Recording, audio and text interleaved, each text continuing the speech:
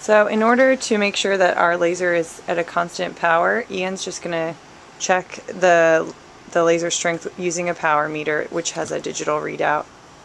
So he'll just put it right underneath the laser and check to see that it's reading 1.2 Approximately. watts.